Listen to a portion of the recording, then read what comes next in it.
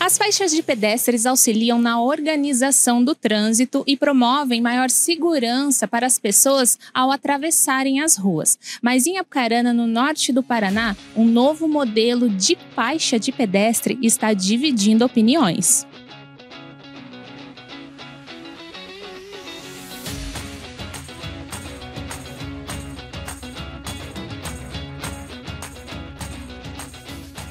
Veio ao centro e notou essas faixas diferentes. O que, qual foi a tua primeira impressão? Assim, aparentemente é bonito, mas eu achei confuso. Eu não, não entendi muito bem o propósito. Eu acho que se for pra gente passar na diagonal, talvez não seja muito respeitado. Então, eu não sei se vai fazer muita diferença. Eu acho que, na verdade, pode causar mais confusão do que ajudar. Olha, é uma inovação. Eu acho que é útil. É, ficou mais visível, é, mais fácil para o pedestre e mais visível para o carro que chega para parar no, no, no, no, sinaleiro, né? Eu acho que é uma ideia boa. Muita gente está reclamando que está confuso. Para você ficou confuso? Não, eu não vejo confusão. É uma questão de costume, né? Tudo que é inovação a gente tem que acostumar. E então a gente chega, é só prestar atenção que no final você vê que facilita. Olha, eu achei esse modelo sui generis, nunca tinha visto na minha vida. A pessoa que bolou aí, fez esse projetinho aí para tentar fazer a similaridade, fazer tudo igualzinho, retinho, bonitinho nas esquinas, foi excelente. Porque antes você tinha as faixa de pedestre torta, você olhava só para a faixa, ou você vou para lá ou vou para cá, pela faixa, né? Então agora desse jeito eu acho que ficou muito bom. Eu parabenizo aí a pessoa que teve essa ideia. E é isso mesmo que a gente precisa, uma cidade bonita e organizada. Vai confundir. Confuso a primeira vez que você atravessou? Fiquei. Eu atravessei normal, só que fica confuso, né? Você não sabe pra onde você vai, porque esticaram tudo aí, né?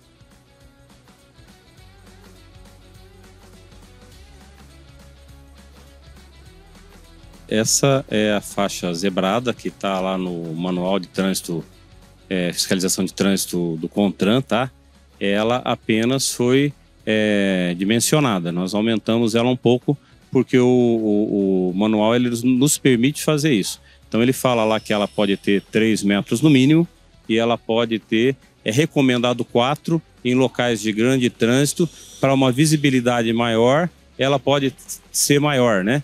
Então é isso que nós fizemos aqui, uma faixa de pedestre que ela chama atenção ela é um local seguro para o pedestre e ela também é, mostra para o carro que aquele território é um território do pedestre, de prioridade do pedestre. Essa foi a intenção e a gente trabalhou com a legislação.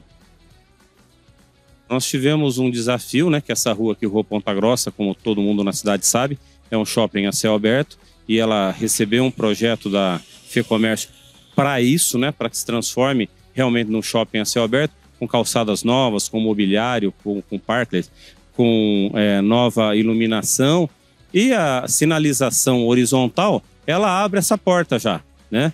Aí nós pensamos numa faixa de pedestre que garantisse segurança ao pedestre e que convidasse as pessoas realmente a vir para a rua Ponta Grossa. Porque num shopping, o que você faz? Você caminha pelas ruas do shopping, só que lá não tem carro e você atravessa de um lado para o outro o tempo todo, visitando as lojas. Então, numa rua normal, né, no perímetro urbano de uma cidade, você precisa construir essa ideia. Aí você faz o quê?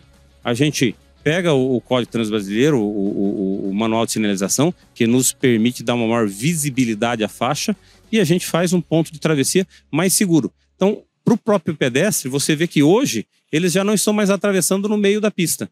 Né? Eles vêm e atravessam no cruzamento e de forma correta, que é de uma esquina para outra.